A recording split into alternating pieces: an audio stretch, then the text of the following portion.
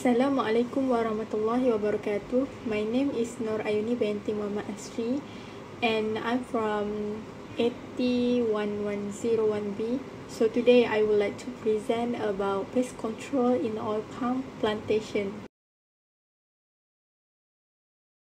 So here the topic to be covered today. The first one is introduction of oil palm and the second one is pest control in oil palm the third one is methods of controlling pests and the last one is conclusion. So i would like to introduce you what is oil palm. As an introduction oil palm is a tree in the palm family with the scientific name Elaeis guineensis that comes from Africa. Oil palm is grown extensively as a source of oil in Malaysia. Next, I would like to talk about a pest control in oil palm. The definition of pest is a plant or animal detrimental to humans or human concerns as agriculture or livestock production. It can divided as a mammalia pest, bird pest, mollusk paste, insect paste, and mite paste.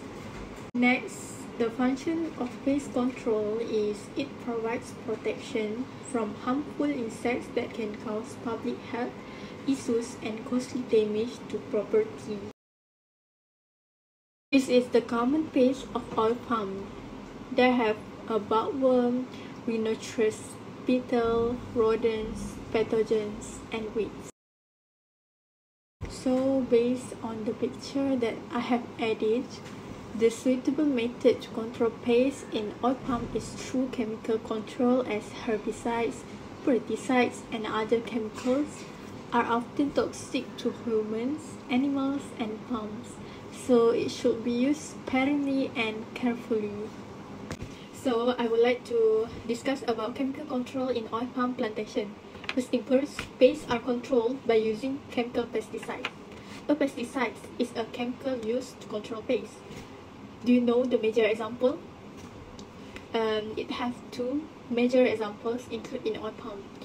Uh, first, herbicides to control weeds and rodenticides to control rodent.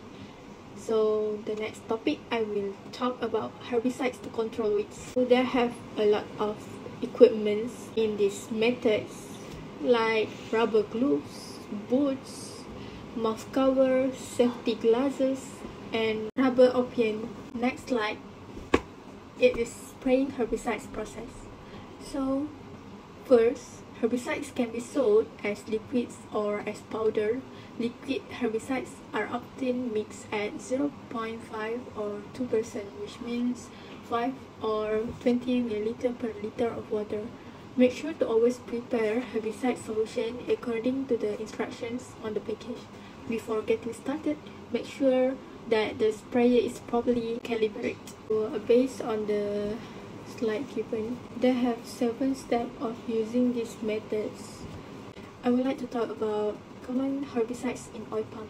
Herbicides are often divided into two groups, which is contact herbicides and systemic herbicides.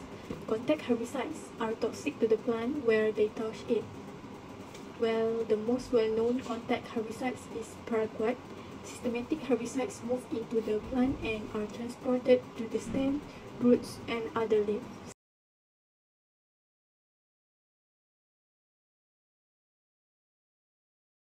They have a lot of advantages of chemical control. First, chemical control saves lives and improves the quality of life.